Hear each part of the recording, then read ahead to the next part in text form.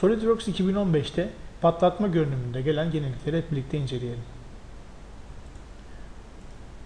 Patlatma görünüm menüsüne giriyorum ve burada yeni bir özellik bizi karşılıyor. Radyal adım.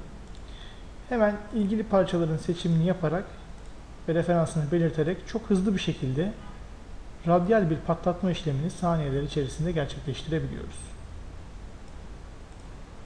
Yine aynı şekilde üstteki parçaların da radyal patlatmalarını gerçekleştirip hemen doğrusal patlatmaya geçelim.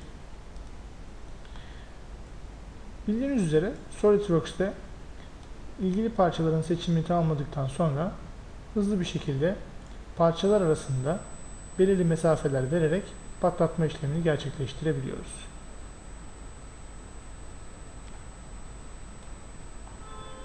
Daha sonrasında bazı parçaların konumlarını yine oklardan çekiştirmek suretiyle istediğimiz konuma rahatlıkla getirebiliyoruz.